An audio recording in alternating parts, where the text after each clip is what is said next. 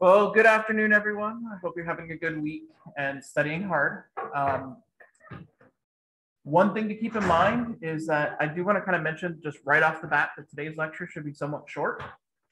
So if you have questions you still have that you want answered for, like prior to the test on um, Friday, that's I'm more than happy to stick around and answer questions for a while. Just don't hesitate to come up and ask, okay? Um, plus, since you know, obviously this is kind of a little one-off uh, lecture. Um, I probably won't make it like a formal question on any of the tests, just because you know it's it's interesting, but it's not like the end all be all of anything that we've done in here so far. But um, don't be surprised if you see like a bonus question or something involving something particularly memorable from this lecture. So, um, but yeah. Um, before we get started, does anybody have any questions about like the testing process or anything like that? Or just wants me to go back and yes.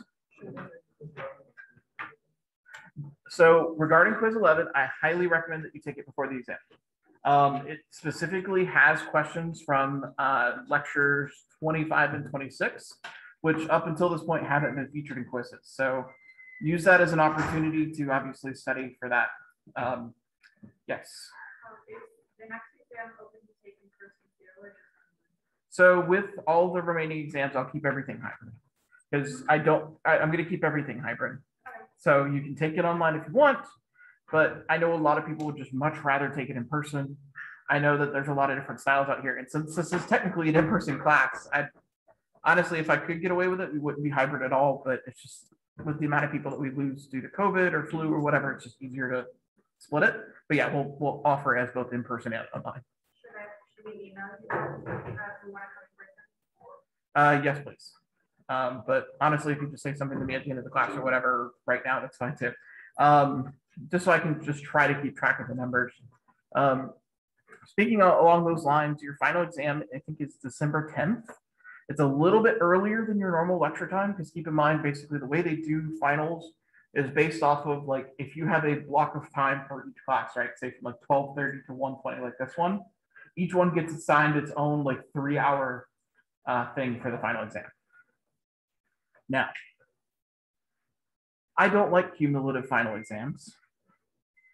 Um, and to be honest with you, I don't think wasting y'all's time and mine by sitting here for three hours with a long ass test for nothing is that beneficial for anybody. So basically plan for my final exam just to be it, it, the, the, the exam for unit four. I'm not going to be like, hey, you have to take unit four and then follow it right back up with final exam. So don't stress about that stuff too much. Yeah. Is the final gonna be in here? Yes, it will be in here. Um, but again, hybrid too if you want it. Um, but yeah, don't hesitate to reach out if you y'all have any questions. As always, I'm sure a lot of y'all that have emailed me already kind of figured this out, but I'm usually pretty quick to get back to y'all as soon as I can. Um, unless I'm teaching or doing something else, like I, I pretty much immediately email back, even uh, if, even if I probably shouldn't be on my phone in the middle of something. But um, don't hesitate to reach out and just ask questions. I'm always here to help y'all. Ultimately, my if everybody could get a hundred in here, that would be great. You know? Yes. Uh, it should be December 10th. And if you need to double check any scheduling things, that's on uh, web courses. There's that like info dump, like right at the top, that little info module. In there, there's the syllabus, there's the um, schedule for everything. It says like when our next connecting with biology assignments due, because you have one more of those left. Now keep in mind too, there will be an extra credit uh, assignment for exam four as well. Um, this one will be worth a little bit more, but it's going to require a good bit more work.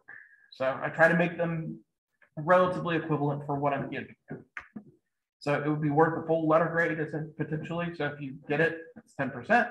Um, but it's basically going to be a little one pager description of some sort of organism that we've documented on campus. I'm trying to figure out like all the specifics of how to like assign different animals and all that kind of fun stuff. But once I have that all set up, I'll put it out there. So you'll have like the full month to do it. Um, so just keep that in mind. It'll probably be due a little bit earlier than the final exam too, just so I have time to actually grade them and make sure that they're legit. Okay. yes. Uh, just to clarify, so exam four is going to be our final? Yes. Okay. Yeah, so exam four is just your regular unit exam like we've had in here. It won't be cumulative or anything like that. It's just plain old boring ecology. Um, so, should be fun. Um, but yeah, so let's go ahead and get started here. Um, we'll go through our typical reminders as we always do. Again, quiz 11 is due on Sunday. Like I just said, make sure you take it before the exam. Uh, again, remember that the exam is this Friday, same time, same place. If you do opt to take it online, you can take it between eight to three, because obviously I understand that there might be some slight differences in like, can you get a hold of a laptop with, you know, a webcam in a quiet place? So I understand that that might be a little bit difficult for those that want that option. Um, and then, yeah, remember extra credit for exam three is due Friday as well, 1159. It's really straightforward. And remember that you can use your observations that you took for your connecting with biology assignment, but you may need to probably go out and find some more stuff because the way it's structured is for the ex extra credit. Obviously, you have to, it's kind of like a scavenger hunt. You know, you have to go find very specific things like three different species of birds or a species of mammal, that kind of thing. So they shouldn't be too difficult. And if you're having trouble finding something, don't hesitate to reach out. I had a couple people reach out about this where they're like, I can't find a fungi. I don't know where to look. And in like an hour, we were able to send them in the right direction, tell them exactly what you're looking for. And they found like 10 different ones. So it just all depends. Yes. So for it, it kind of depends on what group, but for fungi, what I told that student, and it's probably going to work out for most other students, go out and walk along a more wet habitat and look for turned over logs and that kind of thing. Usually on those logs, you'll find those weird like shelves that kind of are circular and kind of almost look like an ear if that are attached to a like tree branch or something like that. That's a type of fungus. And honestly, the closer you are to wetter habitats, where you're going to see your like classic mushrooms and that sort of thing. Um, amphibians might be a little bit difficult but I found that if you go out after right around sunset and just kind of walk around even your neighborhood, you'll probably find cuban tree frogs or southern toads. It's gonna rain a lot on Friday. Yeah, that'll help. that'll make your life much, much easier. But they're kind of fun too, especially if if you find like Cuban tree frogs or southern toads. There's nothing saying that you can't, t- you know, take a cute picture with it and post it to Facebook or something. Like, is Facebook even still a thing for y'all? I don't know, but uh, have some fun with it. All right. So with all that being said, let's go ahead and kind of talk about why did I have y'all do these stupid iNaturalist assignments? What do these actually equate to? What are they useful for? And so with that being said, let's talk about citizen science and community science. So the reason I kind of titled it citizen and uh, put both of these, these words up here, you'll see both of them in the literature nowadays. Citizen science kind of used to be more of the like more of the accepted term until about the last year and a half or so, where now it's kind of being changed to community science because we don't. The, the big point of this is, is, you know, I may be a scientist, but I might also participate in citizen science as well. So it, it's it's kind of funky, but the whole point is like we're, we're trying not to denigrate people and say, oh, you're just you know you're not a, a trained biologist, you're just out wandering around. Because to be honest with you, some of the most incredible naturalists I've ever seen were doctors, lawyers, um, some, uh, particularly one of the people that I worked with, um, who was probably one of the best birders I've ever seen. He was just like a janitor for the local, uh, for uh, the local university that I was at. But he'd go out every weekend and just go look for birds, and he was probably better than any of the people that were there taking classes on this stuff. So you never know who you, you might run into that might know this stuff a lot better than you do. So what exactly is it? So this is a term used to describe a wide variety of activities in which people who are not necessarily trained as scientists participate in scientific projects in a meaningful way. Obviously, you kind of see where that might play a role in the iNaturalist project, but there's a lot of different forms of this. Um, and we'll talk about some of those different forms in a little bit here. Now, the big thing is, is often involves crowdsourcing. So, you know, you might have individually found 15 things at the Arboretum, but just based off of this entire class, y'all found seven to 8,000 different organisms out there. And you found like six or 700 different species. That's cool. And, but that's the thing is you need that crowdsourcing element where you just need to get bodies on the ground sometimes.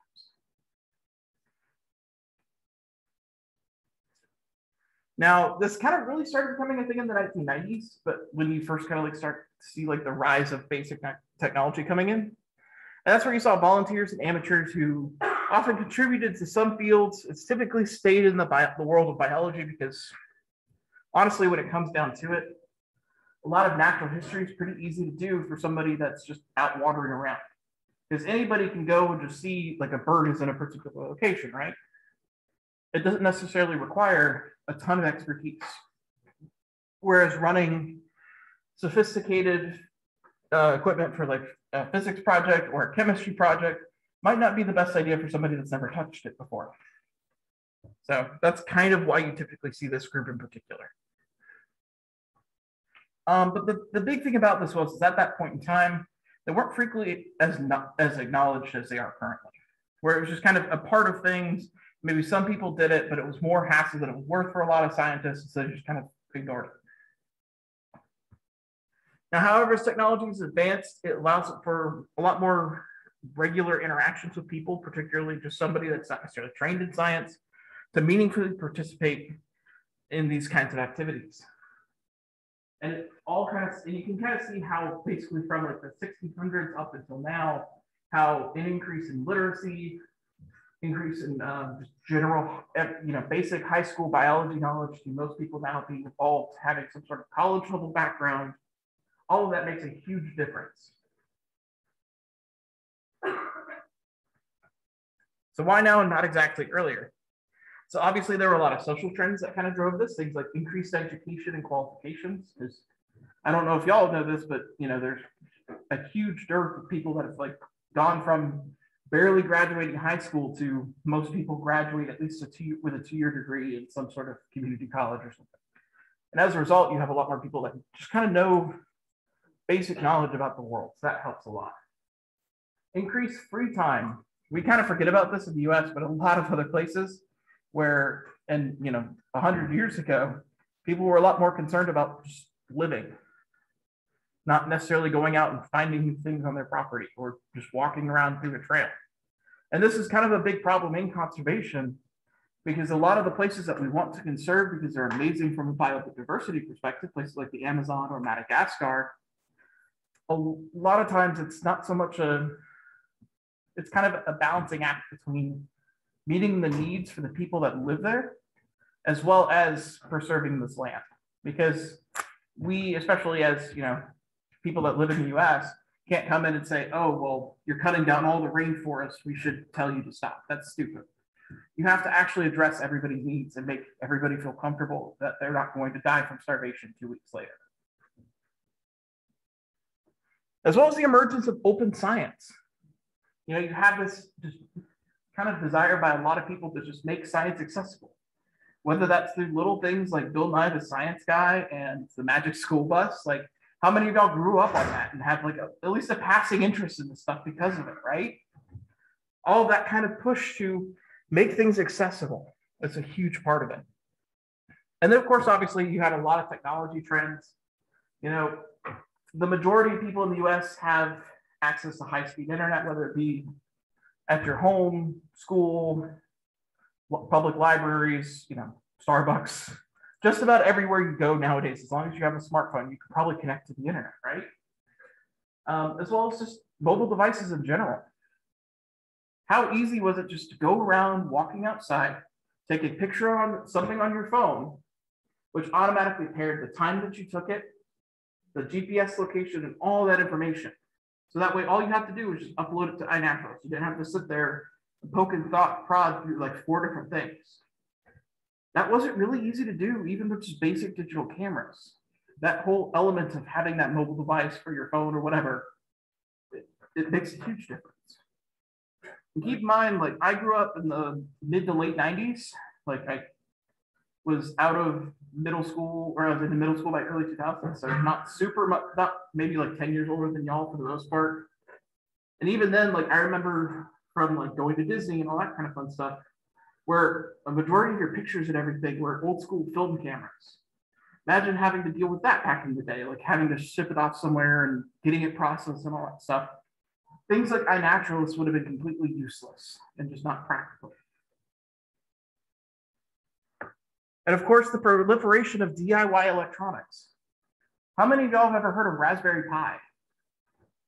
Well, there's amazing things you can do with just these very basic, simple circuit boards and program it to do really cool things for very cheap, which allows pretty much anybody, if they want to, to put a recording device out on their property to listen for frog calls for like hundred bucks at most. And all that stuff is really useful. You should see, um, there was a professor getting rid of a bunch of like old equipment about a year and a half ago. And for each one of these equipment boxes, it was a frog walk, which is, you know, three different circuit boards, all from Radio Shack that had to be hand soldered together, a massive battery pack, um, just completely, and then it all fed back to just a simple tape recorder. So you didn't have to sit there and manually listen to everything to identify things. Whereas nowadays, all that stuff's digital. And that makes a huge difference.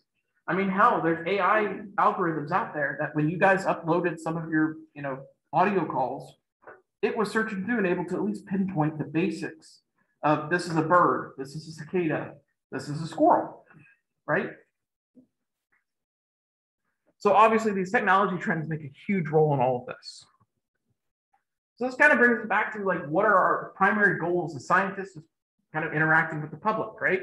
So ultimately each project has to balance between those scientific goals of scale and depth, as well as the benefits to the various stakeholders. So, you know, I, am not going to make you go out there and survey and look for a hundred different things because you're going to get bored and get frustrated with it. I might do that to my herpetology class because they know what they're looking for and they're being trained as biologists and should know those things. But by dropping it down to 15, especially with 10 of those being plants that, as you notice, that wasn't that hard to get, right? Um, it made life a lot easier. But still, it gave us a lot of valuable information about that plot of land because there were so many of y'all that were much more likely to be engaged than if it was 100 animals or 100 plants, what have you. So ultimately, the challenge is that, you know, we have this very broad term that has a lot of different activities involved with it, different types of technology that you can use, the different scientific fields that can now be approached, because obviously um, there's things that we could do now that makes some of the physics and chemistry projects actually viable as a potential citizen science project. As well as the number of participants and the length of time. Both of those things really matter as far as like trying to fine tune, determine how exactly you want to make these projects work. And all this stuff was stuff that I considered when I was like, hey, let's turn this into assignment. Let's have a little bit of fun, get y'all outside and take away some of the weight of your tests. So it's not all tests in this class.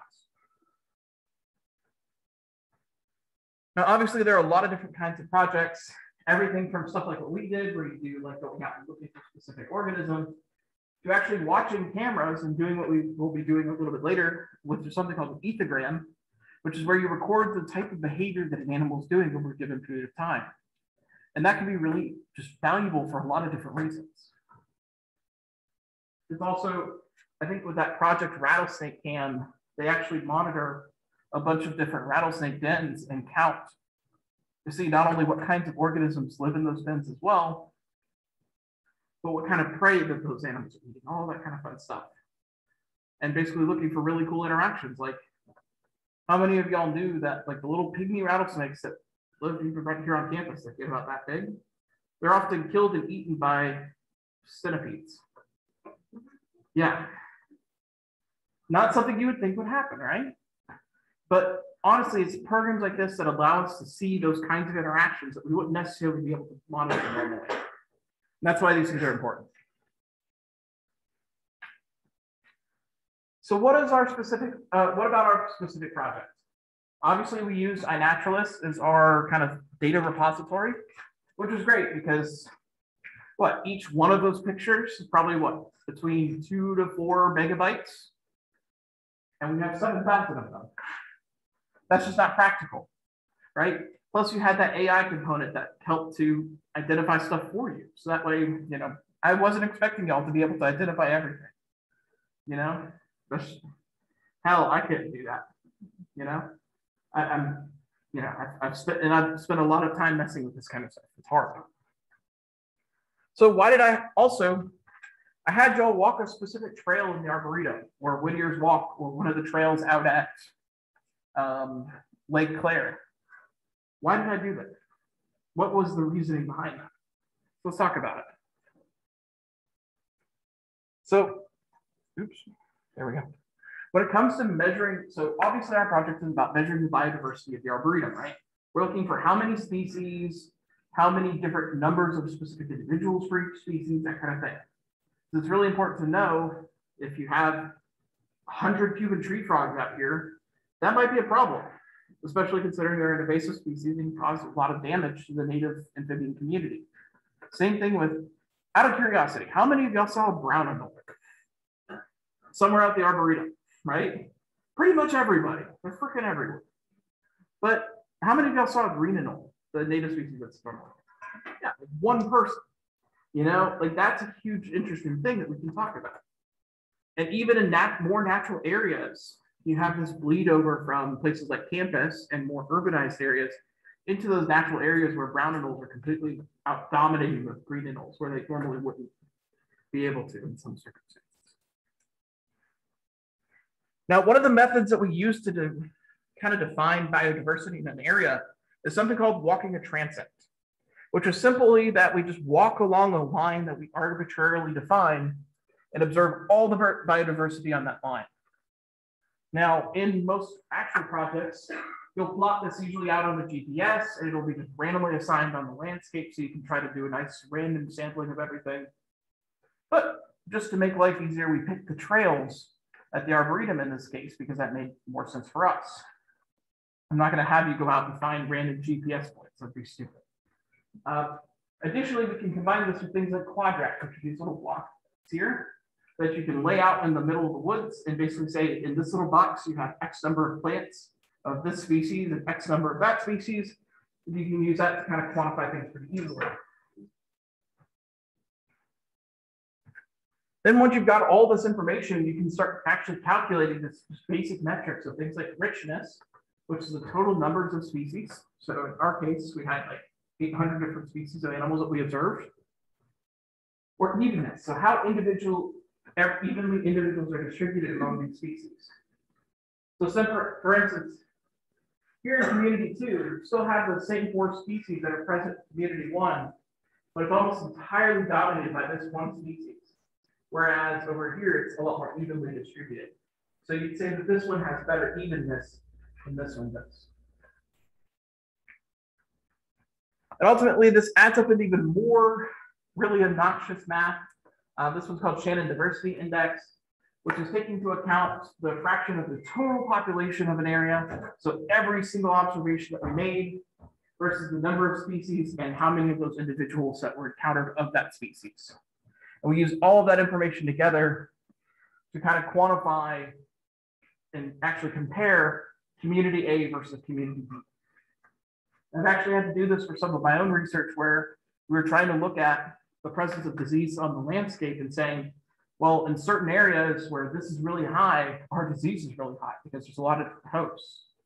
However, when that number drops off, the disease doesn't do as well because it's just not as many hosts. Usually it's a lot more smaller species that are able to use smaller puddles and things that don't deal with the disease as well.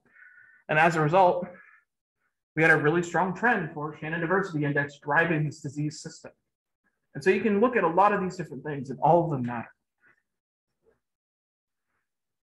So just some basic examples of this here. Here we calculated the number of species, the number of individuals, the proportion, all that kind of fun stuff. And then when you actually calculate that Shannon Diversity Index out, you can see that in this case, community one, clearly more even, still had the same amount of richness, but overall, this is just a more healthy community than this one is. Now, we've obviously talked about like why we did things certain ways, but why do we do things at the Arboretum? Now, our, the Arboretum at UCF is a very special location. In fact, it's won awards for how well managed it is compared to a lot of other places. It's about 800 acres of campus natural lands, as you guys saw, and it's managed via something called prescribed fire. And they often go out and do removal of invasive species as well. Primarily plants, but usually if you're out removing plants, you might come across a brown and take it with you. too. And obviously it's home to just an incredible number of plants and animals that are native to Southeast Florida.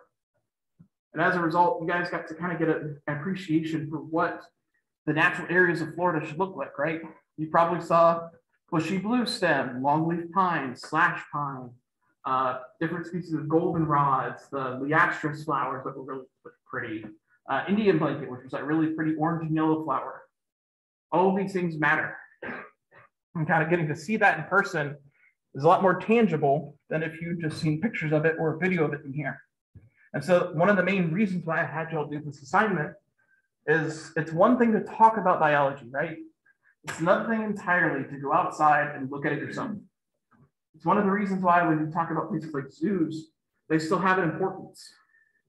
Not only do they do a ridiculous amount of conservation work with captive breeding, what have you, I'd argue the main just perfect use for a zoo as conservation is just showing people that tigers exist. Because you can read in a book what a tiger looks like. You can see what they might look like on a YouTube video. But when you walk in front of that animal and it's you know that much of a pane of glass between you and it, you're going to have a lot more of an appreciation for what that thing can do to you if you screw up. So, and that's why I like to kind of push the importance for things like this. So not only was it an excuse for y'all not to have everything be based on tests. But I think it's important for y'all to go out and experience what does ecology and stuff like that look like in Florida. Plus, you get to practice and actually see what is a vertebrate, what kind of vertebrates are out there, what kind of plants are out there, that sort of thing.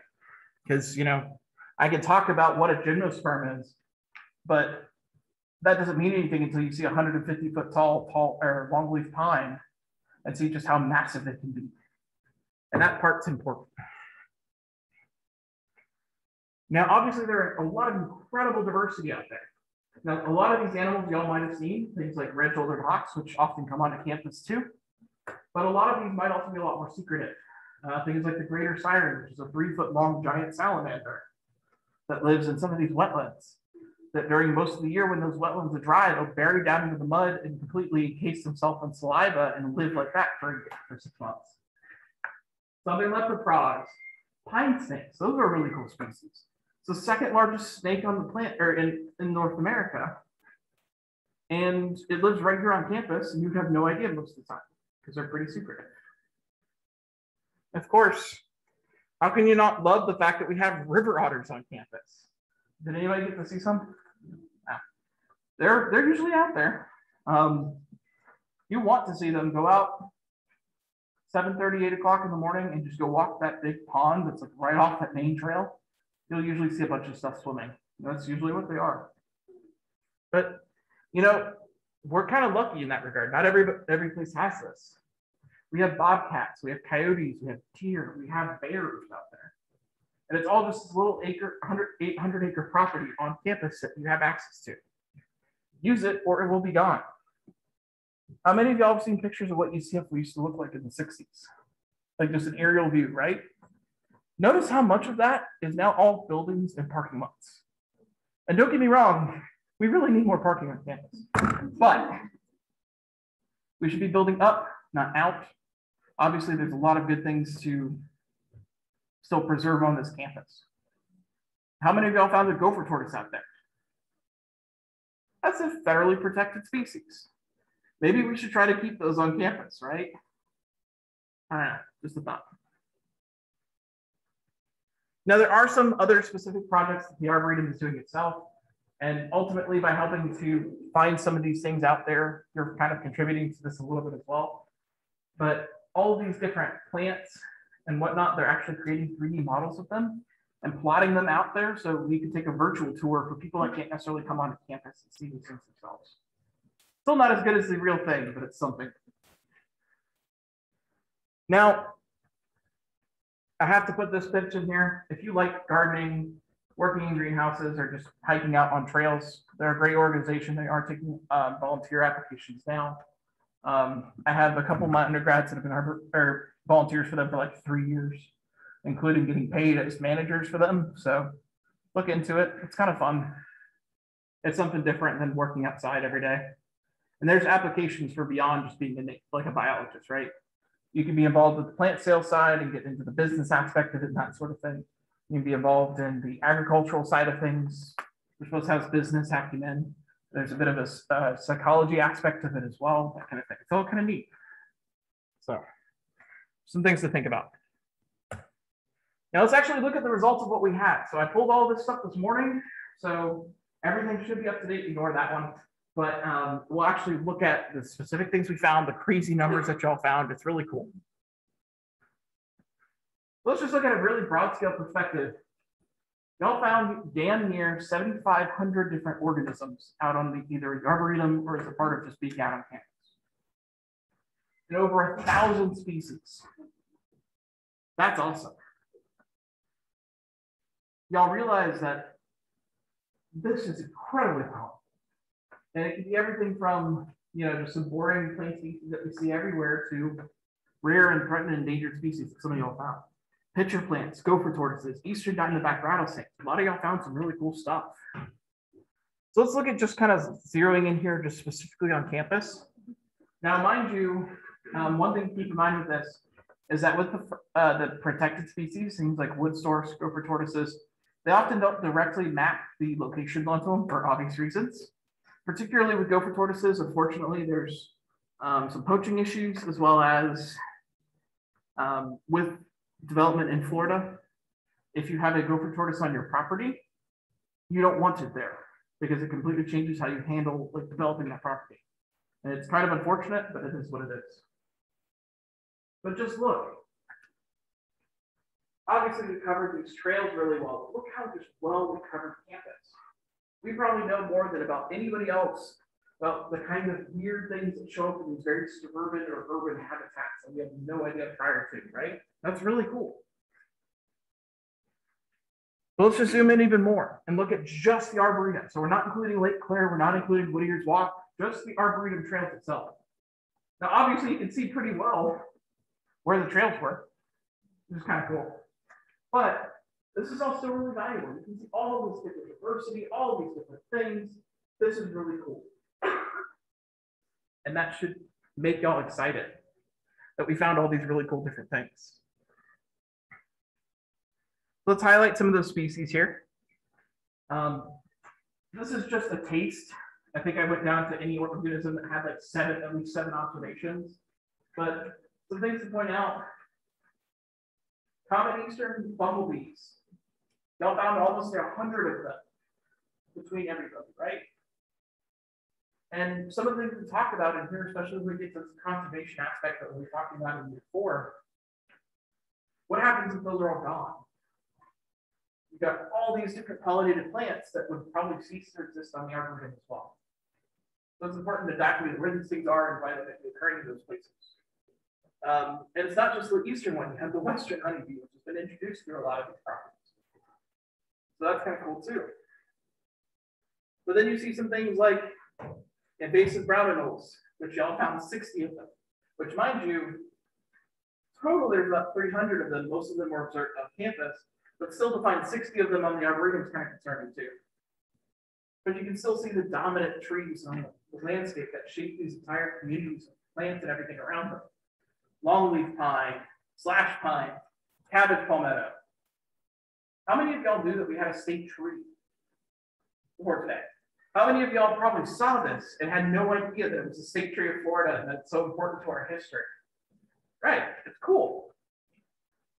Um, and another kind of cool thing about that cabbage palm, it's called cabbage palm because it was a major food of resource, or it's a major resource for people that originally colonized both everything from the Calusa Native Americans to the colon or the the or the individuals coming from Spain, the individuals coming from uh, Britain, all that kind of fun stuff. They survived off of that because it was really easy to dig up and eat. Also, gopher tortoises. They're called Hoover chickens because during the Great Depression, they were really easy to eat. So a lot of the stuff has more value than just being on the landscape itself and has cultural or historical, historical significance that are important to talk about. Let's take just a little quick snapshot of the vertebrates. We found 30 different, 36 different species of birds. believe 16 different species of herps. And again, one thing I do want to point out is that gopher tortoises are on here because of the weirdness of how they're recorded. It's a really cool species too. Obviously a couple invasive, but people found cottonmouth, people found eastern diamondback rattlesnakes. That's awesome. There's very few places in the world that can say we have this on our property, and it's important. Um, mammals we did pretty good with. Um, some moles, some rabbits, deer, raccoons, possums, armadillos, all that kind of stuff. Obviously, a shit ton of squirrels. But hell, even some of y'all observed fish. Honey, y'all found those little eastern mosquito fish that grow about that big. Did y'all know that those are live bears and are completely just like mammals have, you know, live young? That's really cool, right? Y'all had no idea that that was a thing. Y'all found five of them out there. That's cool. But what's also interesting about those fish is notice the blue tilapia, originally from Africa, can completely out dominate our things like bluegill, sunfish, all that kind of fun stuff, eating pretty much everything. And those little sailfin cats. How do you think those got there? They're definitely not from the US, right? Why on, on UCF's campus would you probably have a ridiculous amount of these things that probably came out of common aquarium, home aquariums? Yeah, exactly. So unfortunately, this is also kind of an indication that sometimes people are shitty too. And you can find those kinds of scars left on the environment too. So how exactly did these numbers compare to just excluding other groups? So looking outside of our project, if you look at just everybody that ever observed anything in the Arboretum, what did they find? So numbers wise, we did pretty damn good. We're only about 1,200 off of that. But still notice 776 different species that they found versus the 471 that we found. We're still missing 250 different species of animals that we didn't see that everybody else saw. It could be a timing thing, just like some organisms come out at night. Some organisms are only in very specific areas of the arboretum, or some just tend to be a lot more secretive. A lot of different reasons why this could be.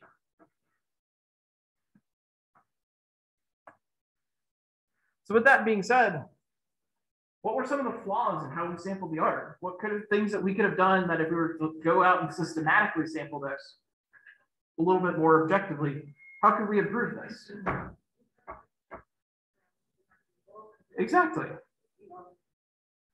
Yeah, so one of the things that we could have done is gone through and systematically assigned specific trails, right?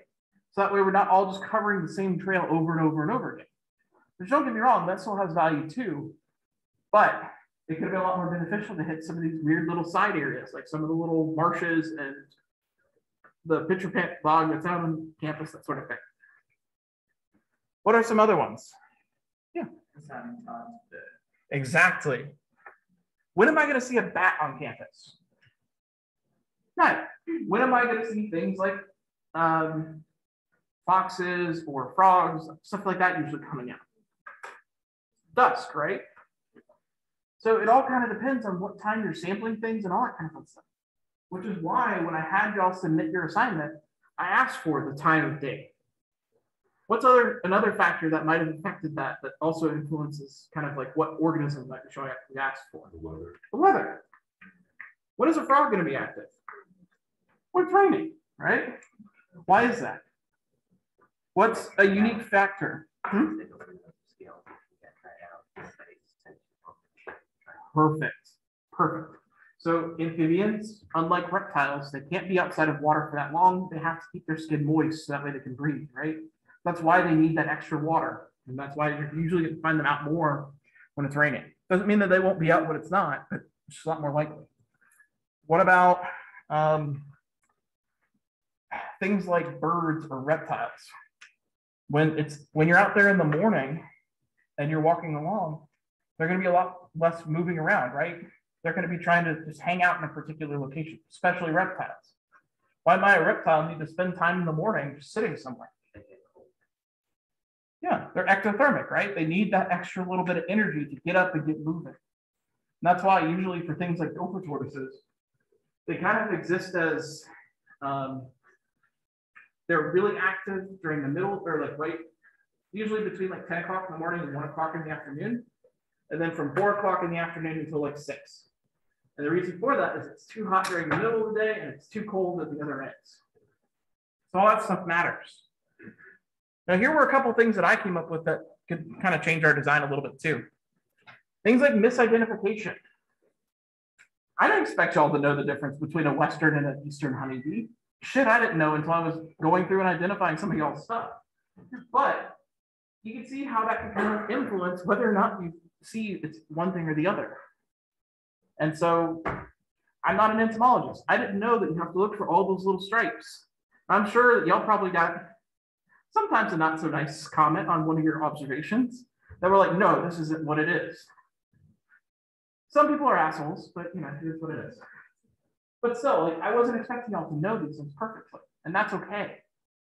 Now, one of the things that in theory you could do is have people trained on specific things or only target specific things. So say for instance, if this is the herpetology class that you see at UCF, the herpetology class has to know every organism, both frog, amphibian, lizard, salamander, whatever, that lives in Central Florida.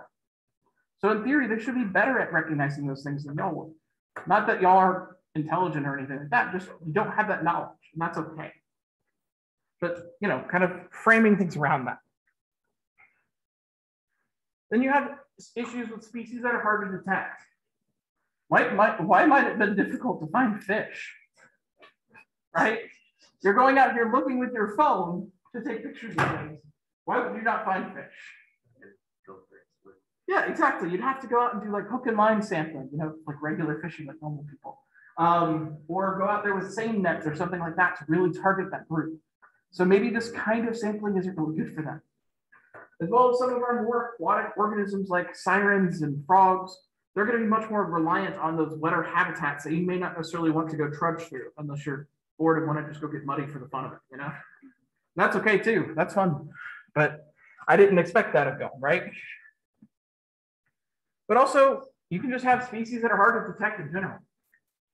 None of these species were ones that we found in the Arboretum as a group, right? The pine snake, the bears, all that stuff. But that's not because they're not there, because they're really secretive. They can be hard to find sometimes. Especially things like bears, they may have massive home ranges that may dictate when you're going to see something versus when you're not. In fact, things like Florida panthers often have you know home range sizes in like the 50 square miles or so, which is crazy. And especially kind of understates that you need a lot of space for these things too. Just some things to think about. Now, I did want to show you all this. I didn't get permission to show this. But one of the coolest things about things like this is you may find unique interactions that nobody's recorded before. Now, here, we had a student that was out just walking with her dad and came across two gopher tortoises trying to kill the fuck out of each other. That's awesome. Like, how many of y'all even knew that gopher tortoises could fight like this? Right? Like that's not something you think about. Honestly, tortoises and general are really nasty animals if you think about it. Um, they're highly perverse, will hump just about everything, um, as well as the males in particular. And you'll notice, and you can tell these are males. Look, see that little nodule right underneath the head? So they're called nuchal scutes. They're basically these big uh, triangular shaped specialized scale patches that are basically just giant bulldozer wedges that they could drive in and like puncture in between the heads and all that kind of fun stuff. Only the males have that. I wonder why that might be. Well, let's actually show this off here. You see where he's like driving that nuchal scute into that other animal?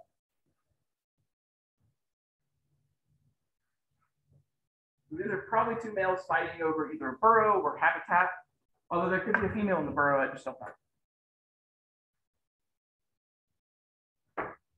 Give me a second, it's a little more.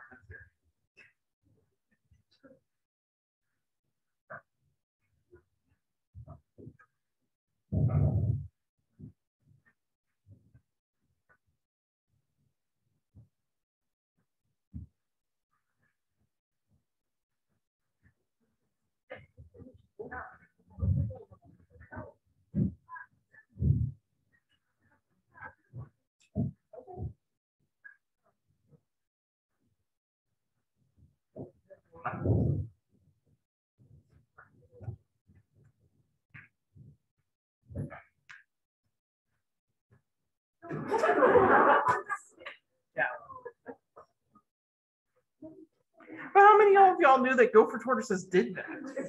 or that they were on campus?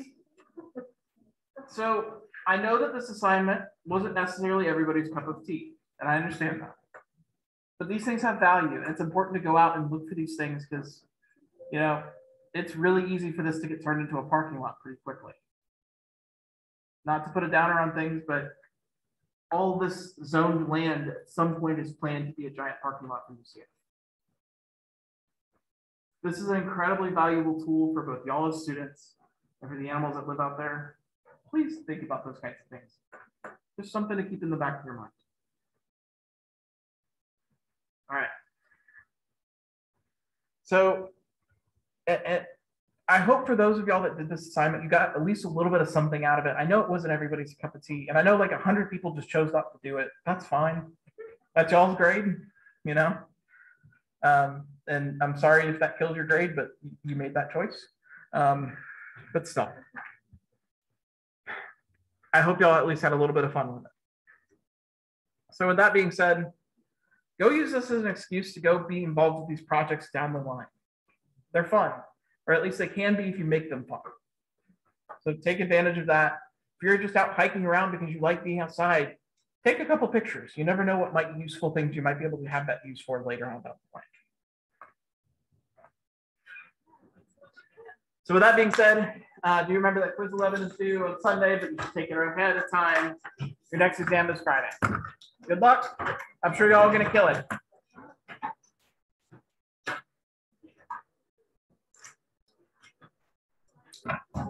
Yeah. Yep, no, if, if you're taking with SAS, don't worry about snapshots. Just circle it on the paper. Yeah.